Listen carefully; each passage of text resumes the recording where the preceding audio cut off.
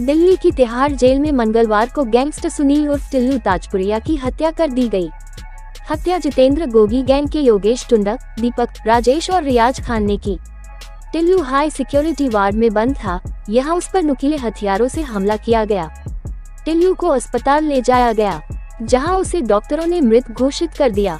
एक महीने में तिहाड़ जेल में ये दूसरे गैंगस्टर की हत्या हुई है। तिहाड़ प्रशासन ने बताया कि गोगी गैंग के चार बदमाशों ने लोहे की रोड और सुए से टिल्लू पर हमला किया।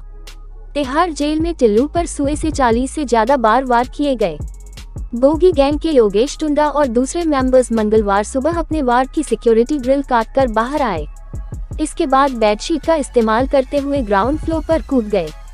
यहाँ पर टिल्लू को हाई सिक्योरिटी वार्ड में रखा गया था। बोगी गैंग के सदस्य टिल्लू के वार्ड में लगी ग्रिल को काटकर अंदर घुसे। जेल अधिकारी ने बताया कि गोगी गैंग ने लोहे के नुकीले हथियारों से टिल्लू पर हमला किया था। टिल्लू को अस्पताल ले जाया गया, जहाँ उसे मृत घोषित कर दिया गया। एक अन्य रोहित का इलाज चल रहा है और वह खतरे से बाहर है।